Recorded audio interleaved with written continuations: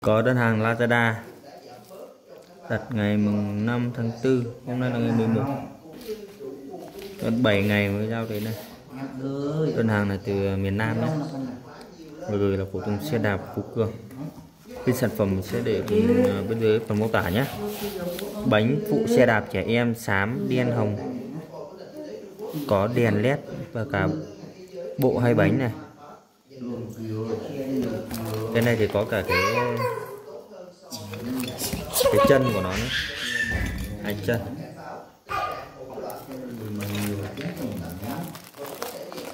Mở cái đơn hàng này ra xem nó đầy đủ không.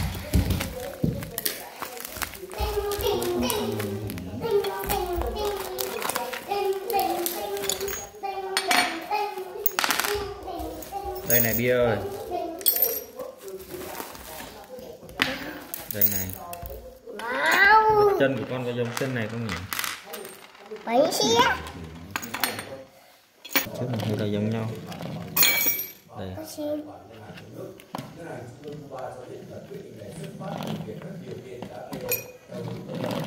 Ui, nó quay luôn. Thôi bị xeo rồi.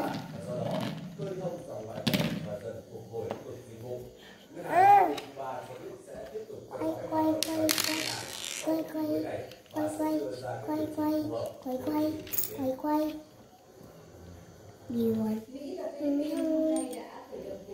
xem nào. Đây, xem bánh đây xem nào. Hả?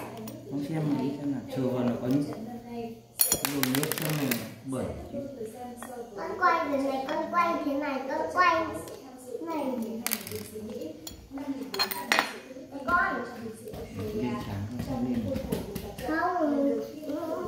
không nó nó quay nhưng sau là không cho cái cánh thằng này nó đi nữa.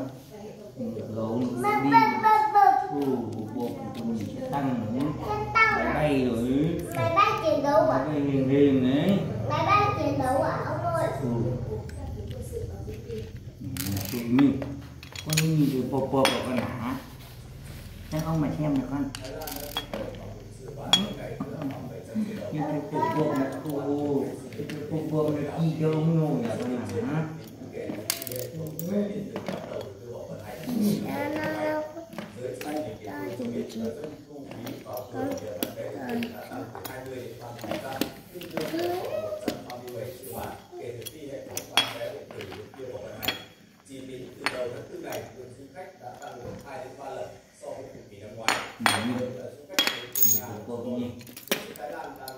này nó vào đây. Đấy mình sẽ lắp vào xe nhé. Đây chính là cái bánh à, phụ mình lắp này. Cái này cũng có phát sáng luôn nhé. Quay. Đấy, phát sáng.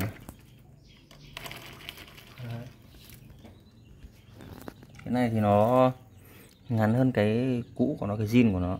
Đi theo xe ngắn ngắn ngắn là cái đoạn này cơ Đấy.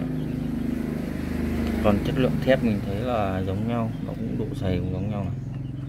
Cái này thì rất là chắc chắn rồi không sợ cong. Trẻ con có thể xe này đèo hai được.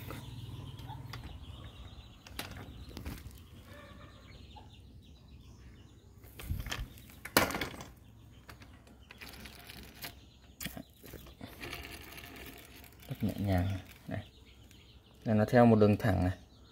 Thông song này.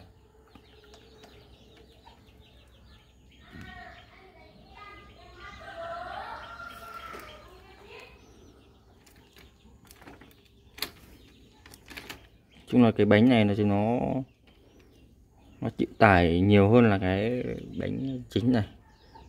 Vì nó lúc nó nghiêng sang, lúc nghiêng sang trái, nghiêng sang phải này. Tức là nó dễ hỏng cái vòng bi này. Một cái nữa là nếu mà đi ờ, lâu ngày thì nó sẽ bị lệch cái này. Lệch cái này này. Đây. Đấy, cái này nó là một đường thẳng từ trên xuống nhưng mà nếu mà nó lệch sang đằng trước hoặc lệch chéo sang đằng sau này thì nó rất dễ hỏng vòng bi nhé. Mọi người cũng nên kiểm tra. Ok.